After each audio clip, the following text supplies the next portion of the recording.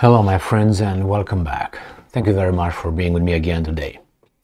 Well, I have to confess from the get go that I have a uh, rough evening uh, so far, which means uh, I uh, celebrated with some friends, uh, so uh, I indulged myself with some adult beverages. So, anyway, if I slur some of my words, it's because I'm a little bit tired let's put it that way. So, I think this is a very important thing that just occurred. Uh, I uh, stumbled over it, and what is it? It is uh, Carlson uh, Tucker, see, the other way around, um, in his first appearance after his uh, uh, departure from Fox News. And he had a little video talking about a few things. Now, interestingly enough, I found uh, this article coming from um, Deadline. I don't know what the hell that is from Yahoo Entertainment. Anyway, it was from uh, it's from 8:42 p.m. Uh, Eastern Time on April 26, 2023. So let's read a few things out of this article and then let's discuss it. Tucker Carlson speaks out for the first time since Fox News exit railing, railing against, and I'm quoting, the people in charge, and quote, of American media. Yeah, what's interesting, I would point out that little thing behind Tucker. What is that? Guess what that is? All right, go back. He's got one like mine. I don't have one like his, okay? Two days after Tucker Carlson was Suddenly pink slipped by Fox News, the former cable's host has broken his silence. At the exact time that his long running FNC show uh, would have aired. And I'm quoting uh, Tucker. The thing you notice when you take a little time off is how unbelievably stupid most of the debates you see on television are. Yes, Tucker, I know and we know. Uh, and I'm uh, quoting again, they're completely irrelevant. Yes, Tucker, but that's the audience they are um, focusing on. That's the audience they're targeting. Yes. He began in a video missive posted online just after 5 p.m. Uh, Pacific time, 8 p.m. Eastern time, Wednesday. So that means that was what? 42 minutes after he started saying that. So, lashing out at so-called, and I'm quoting, liars, and declaring, and I'm quoting, the iron law of the universe, end quote, Carlson, who ironically just last week was the host of TV's top rated cable news show and among the most powerful people in television, postulated. most powerful. That's an illusion, my friends. You're not, if you, someone can fire you like that, you're not the most powerful. Uh, because they allow you to do what he did. And I'm quoting Our current orthodoxies won't last. The people in charge know this. That's why they're hysterical and aggressive. Thank you, that's what we've been saying. Uh, the less certain on their position, the more aggressive they are and hysterical. And I'm continuing to quote Tucker Carlson. They've given up persuasion. They're resorting to force. End quote. Yes, Yes, because uh, if you remember, my friends, what do I say? The guys with this have the power. You can have all kind of weasel things. If someone shows up with a gun, you're done. If you don't have a gun to counter that, you're uh, you can't equalize the situation. So uh, let's move on and see what else he said. Uh, he then offered, and I'm quoting, "Where can you still find Americans saying true things?" Um, uh, there are some, there are some. There aren't many places left, but there are some, and that's enough. As long as you can hear the words, there is hope. Yes, Tucker, it is. And you were uh, uh, you you were trying to uh, spread the word in a very uh, mild way, I must say. It was helpful, very helpful, because nobody else in the mainstream mass media dared to do what Tucker did. He was, as I said, a 7 out of 10. So when you want to tell the truth, he's a 10.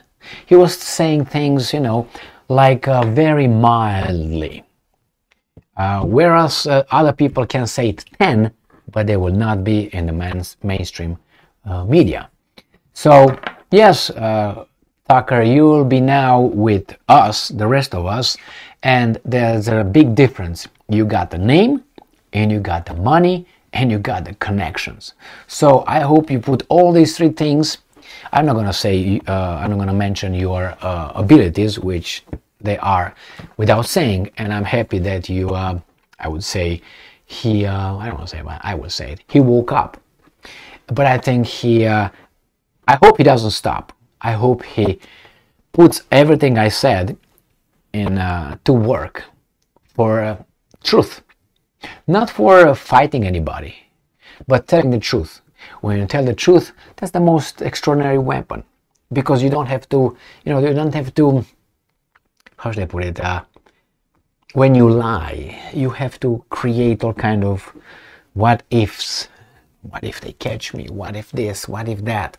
When you tell the truth, you tell the truth. It's like a uh, um, you break the shackles of your uh, of the society. Uh, that's why, for me at least, it hurts. It hurts me when I say a lie.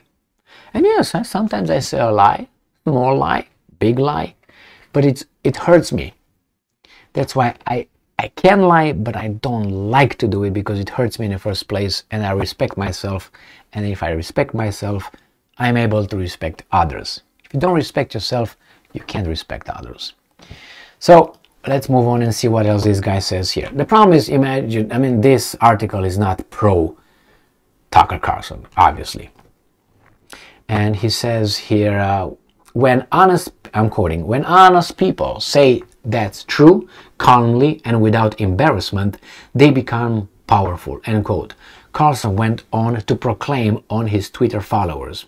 And I'm quoting again, at the same time, the liars who've been trying to silence them shrink. They become weaker. That is the iron law of the universe. True things prevail. End quote. Yes, but you are attacked. You are censored. You are blocked. You are closed. I don't have, for instance, the means. We all have to cut things off, like you had to cut, or he had to cut from he couldn't say, well, there's a problem, there's a problem. He would have been fired a long time ago. So in a way, we should be grateful we had him so so long where he was. Even in my assessment, as a seven, because he couldn't go to a ten. He was going slowly, slowly, slowly. I saw the trend, but they stopped him before he went further than that. So let's see what else he says here. Well, something will prevail eventually in the case of Carlson, well, one way or another. He ended the video with see you soon. Well, we definitely hope to see you soon. And uh, not to join us, join the truth, because we are all stuck to the truth, or at least trying to, you know, to expose as much as we can of the reality. So if you get over there and you open your megaphone, which I think is going to be much, much bigger than all of ours for the reasons I mentioned, and th- those are just a few. He's got more than that. So yes, we can do this. I have to mention here, um, let's start the, the, other way around. I will not mention the um, haters and uh, people who are still involved in uh, uh, being paid to say certain things, or enemies of Tucker, or I don't want to co- conflate Tucker with the truth, because we are all, I think, we are all working in trying to open up or show as many angles from reality. And Gigi brings something, Mikey brings some things, Emil brings some things, Tommy brings some things, Tucker brings some things, and we all bring all this different angle to the truth. So we are employees, I don't know how to call it, supporters, and I don't want to say, well, we are right here, put uh, a, we're the good guys, but we are, because the other ones are lying. We know that, they know it. And if they don't know it, that means they're very right there. So I'm glad uh, that. So I'm not to talk, not to talk about the that side of the equation. I'm going to talk about people like O'Reilly, Bill O'Reilly. I thought he was an average, mediocre guy, all right, mediocre guy who lost because some uh, some other people cut his little little uh, tiny legs. That was, and now he talked about Carson in a very negative way, and I was like, uh, you can hold hands with uh, Chris Cuomo and others. You're just a weasel. You're part of the problem. The problem is hiding the truth, or at least trying to put in front of us, you know, um, um, cheap blankets over our sailors. Uh, remember Jim Morrison? Wow, I'm sick of doubt, living in this whatever South. Uh, anyway, uh, that's the Severed Garden listen to that song. Uh, that tells you a little bit of what's going on right now. Uh, putting cheap blankets over our sailors or something like that. I can't remember too much. Anyway, so look for that Severed Garden by The Doors, where Jim Morrison, Jim Morrison is just uh, reciting some of his poem after his death. After his death, I think he died on what in December third, uh, December third. Uh, June 3rd, 1970, think 70 i can't remember. Anyway.